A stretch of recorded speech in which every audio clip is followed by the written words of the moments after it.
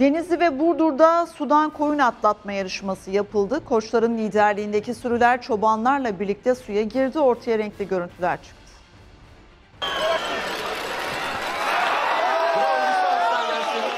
Eğitilen koyunlar suya böyle atlıyor.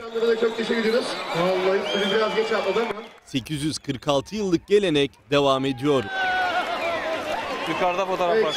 Bu renkli görüntüler Denizli'den. UNESCO'nun somut olmayan kültürel miras listesinde yer alan yarışmanın bu yıl 846.sı gerçekleştirildi. mor koyunuyla Çal aşağı Seyit'ten Mustafa Şah Büyük Menderes Nehri'nin sığ kısmında sudan koyun atlama yarışması yapıldı.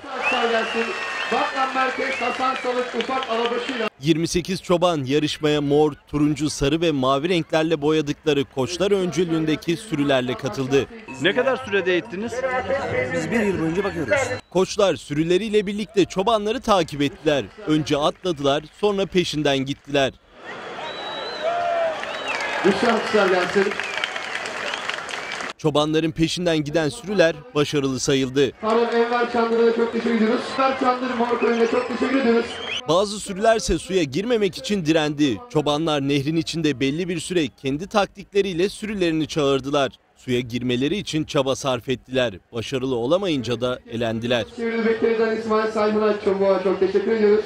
Derecelendirmeyi yarışma için seçilen jüri üyeleri yaptığı yarışmada yarış boyunca eğlenceli anlar yaşandı. Harun Enver da çok teşekkür ediyoruz.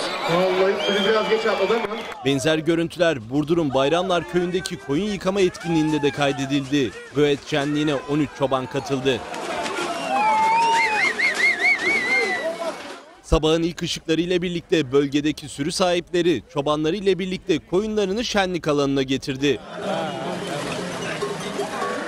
Yarışma için oluşturulan 75 metre uzunluğunda ve 1 metre derinliğinde olan suni göleti geçmeye çalıştılar.